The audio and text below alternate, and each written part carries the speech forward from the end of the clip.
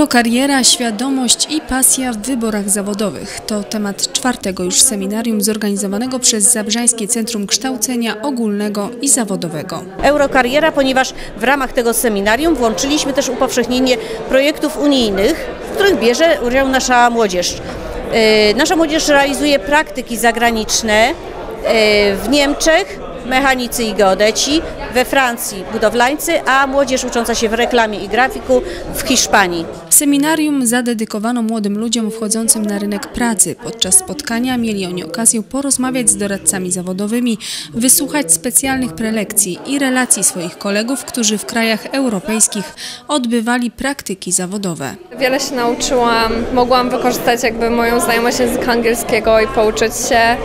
E, Poznałam wiele fajnych ludzi, nawet z mojej szkoły, których poznałam bliżej. Nauczyłam się dużo pracy z klientem, więc myślę, że bardzo dużo i zobaczyłam wiele rzeczy, bo byłam pierwszy raz za granicą. Dla nas była to naprawdę duża nowość. Na zasadzie, no, tu w Polsce nie, nie, nie mieliśmy możliwości odbyć takich praktyk w ogóle, a tam właśnie no, były naprawdę duże możliwości, nowo, nowoczesne maszyny, nowoczesne programy. Naprawdę wrażenie było świetne. Na pewno to poszerza nasz horyzont, mamy inne pole na, na nowe sprawy, a na to, co robimy tutaj, możemy to porównać yy, względem tego, co się dzieje we Francji i w Polsce.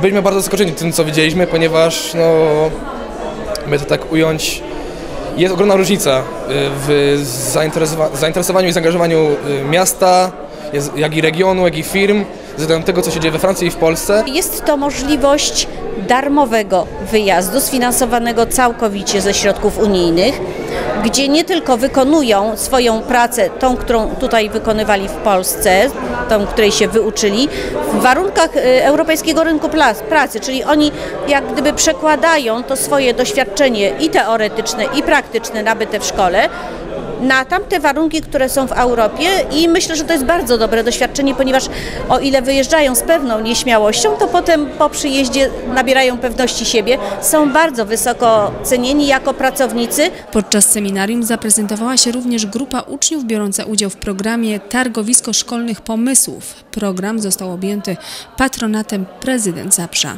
Na pewno zdobywamy jakieś doświadczenie w swoim zawodzie i ćwiczymy, no wiadomo, projektowanie, tak, ale y, też y, zdobywamy kontakty różne. Inicjatywa Zabrzeńskiego Centrum Kształcenia Ogólnego i Zawodowego każdego roku przyciąga uczniów chcących wejść na rynek pracy. Seminarium daje duże możliwości od wsparcia doradców zawodowych po wzmocnienie pewności siebie tak potrzebnej w stawianiu pierwszych zawodowych kroków.